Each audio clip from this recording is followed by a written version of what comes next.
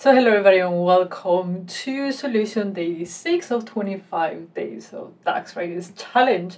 If you don't know what I'm talking about, go down below, check it out. If you want to participate, it's never too late, even if though we're day 6. Are you stuck on day 6 challenge? This is the video for you. Let's get started.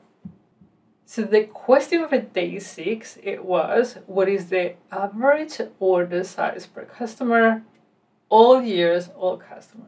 Okay, so first we're going to calculate it without DAX and then we will do the DAXing as always. Okay, so how do we do this without DAX? It's a little bit more complicated, but everything is possible to check. So what we're going to do is we're going to create a table that contains the customer name.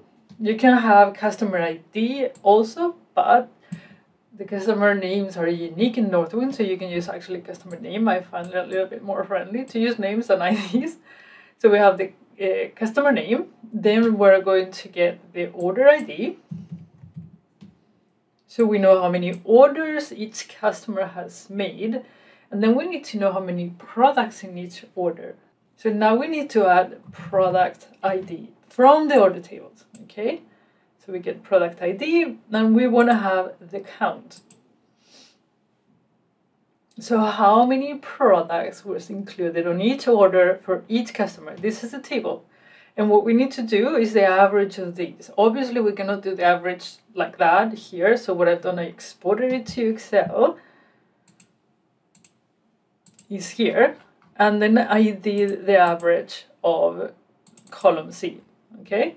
And the solution is 2.6. 2.6. So now we need to do the exact same thing but with DAX. How do we do it? Let's go back to Power BI. So to do this in DAX, we need to do the exact same thing. We need to create that table that we created now and then do the average on the table. So how do we create the table? We're going to go to modeling. We're going to go to uh, probably better to do it from here so you can see the new table right away. So we're going to summarize because we're going to create a table that summarizes the orders table, right? So we want to have the, the table that we created with DAX, we want to have it virtually.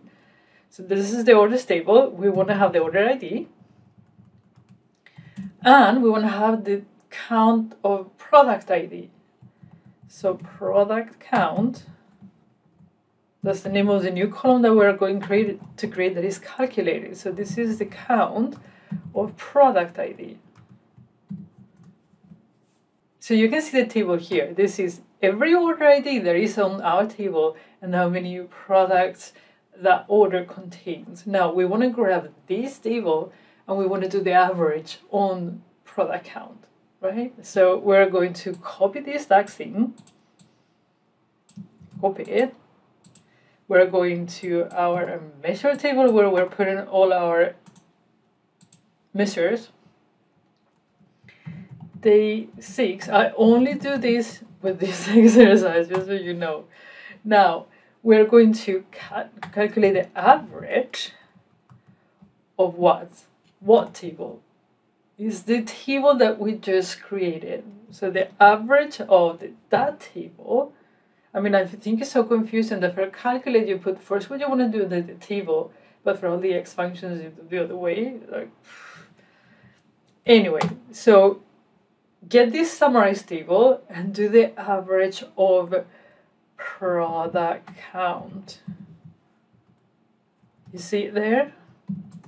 This is exactly the same thing that we did there, but we're doing it with DAX, that's all. So we're going to put day 6 in there, and hopefully we get 2.6. Okay? Isn't it easy, right? Now, now when you know how to do it. Okay, ladies and gentlemen, again, let me know. Are you enjoying? How many rights have you got? How many wrongs? I will see you again on day seven tomorrow. So 25 days of DAX Fridays. Crazy. Okay, I'll see you tomorrow.